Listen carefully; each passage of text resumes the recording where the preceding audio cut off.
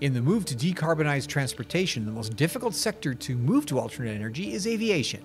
The amount of chemical potential energy stored in a unit volume of hydrocarbon fuel is enormous, and this high energy density is an essential component in the design of modern aircraft to deliver range and payload requirements that keep air travel efficient and affordable. But this may be changing with a new generation of electric technologies.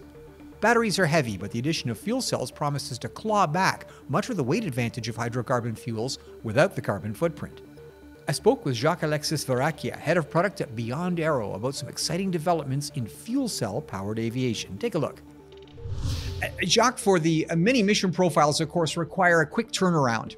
And for refueling purposes for liquid fuels that we know, like Jet A, it might be uh, pressure fueling from uh, a dry break connector fitted to the underside of the wing or the fuselage, or gravity filling from a filler cap at the top.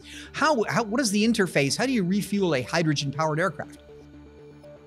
So that's a very good question. And uh, as you mentioned, so we are going with a gaseous hydrogen uh, aircraft. Uh, we know that liquid is better because you have basically twice the energy density with liquid and uh, for the same volume, basically. Uh, so we know that liquid is very promising, but again, very pragmatic. We decided to go with gaseous because the gaseous hydrogen technologies already exist. They've been proven on the automotive industry, on the uh, heavy trucks, for instance, or, or forklifts or whatever.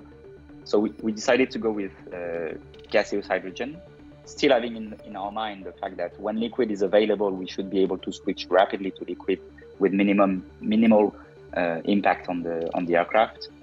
So this is for the development.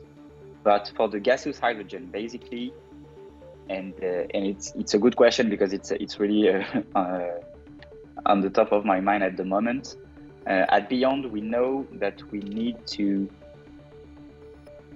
have hydrogen available in airports by the time we're on the market. We cannot expect or wait for anybody to provide hydrogen or to, to rely on, on that. It's, it's way too risky. So we're, we're doing that job. So we're in discussion with a lot of airports. And to refuel the aircraft, we know that the turnaround time is key because again that product is made for customers for clients and of course if we say okay uh, you have to wait two hours before being able to fly again it's not acceptable